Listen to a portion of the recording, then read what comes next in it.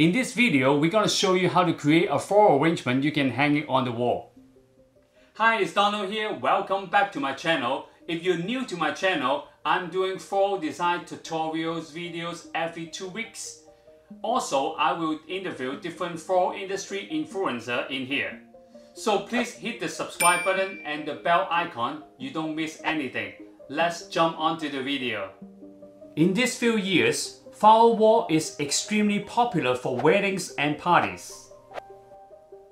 But today I want to share with you how to just using few simple materials, flowers to create a unique and different flower wall art. So you can use it over and over again. Let's move on to the video.